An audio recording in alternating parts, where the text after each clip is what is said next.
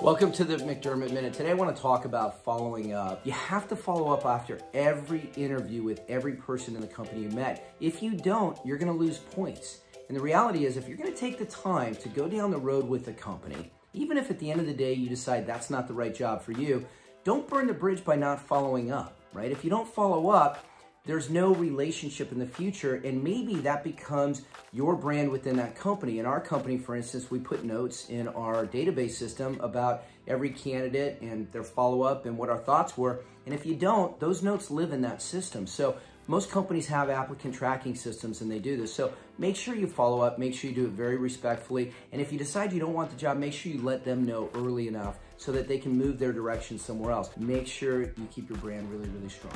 Good luck.